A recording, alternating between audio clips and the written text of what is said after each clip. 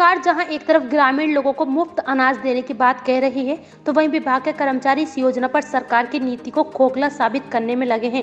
जिसका उदाहरण एफसीआई गोदाम पर देखने को मिला, जहाँ गेहूँ की बोरी में मिट्टी की मिलावट मिलने के बाद हुई शिकायत के बाद डीएसओ ने जाँच कराए जाने की बात कही है। केंद्र और राज्य की भाजपा सरकार के सबका साथ, सबका विकास शब्द को निशब्द करने के लिए सरकारी मशीनरी और सरकारी कर्मचारी कोई कमी नहीं छोड़ रहे हैं।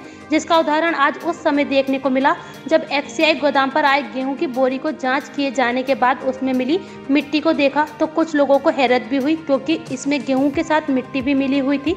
इस बात की शिकायत जब उच्च अधिकारियों से की गई तो अधिकारियों ने मौके पर पहुंचकर मौके का जायजा लिया। तो पाया कि शिकायत की पुष्टि होती दिखाई दिए जाने के बाद अधिकारियों ने जाँच कराए जाने के बाद दोषियों के खिलाफ कार्यवाही की बात कही है।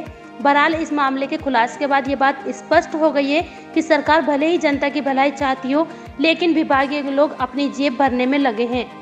तक में आया है इसमें मिट्टी और गेहूँ धोना मिलवा है इसके क्या नाम था? ये हमारे पीडीएस से जो गेहूँ का वितरण होता है उसमें जो गेहूँ हमारे हैं, ये डायरेक्ट एफसीआई से हमारे गोदाम पे आती है, उसके बाद हम दुकानदारों को निकासी देते हैं। तो मुझे यह सूचना प्राप्त हुई कि जो एफसीआई का जो मझोला है मझोला में जो एफसीआई का गोदाम है, वहाँ से जो ट्रक आई है, उसमें गेहूँ की क्वालिटी अच्छी नहीं है। तो मैंने अपने गोदाम प्रभारी को रोक दिया कि आप उस गेहूँ को उतारोगे नहीं, मैं खुद टीम लेके आ रहा हूँ और यदि क्वालिटी अच्छी होगी, तभी उतरेगा।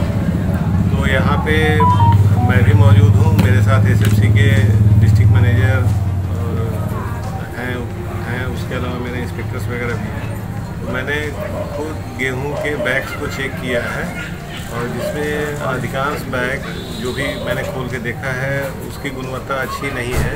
उसमें मिट्टी मिला मिला हुआ है और प्रथम दृष्टिया ही अखाद्य प्रतीत हो रहा है। तो अभी मैंने इसको रोक दिया है और जिलाधिकारी महोदय की तरफ़ से आ, मैं एफ़ को एक पत्र लिखवा के इसकी गुणवत्ता की जाँच कराऊँगा और उसके बाद फिर आगे संबंधित जो भी होगा यदि कोई दोषी होगा तो कार्रवाई की जाएगी कराया जाएगा। मतलब एफसीआई का चूँकि मैटर है तो एफसीआई ही करेगी।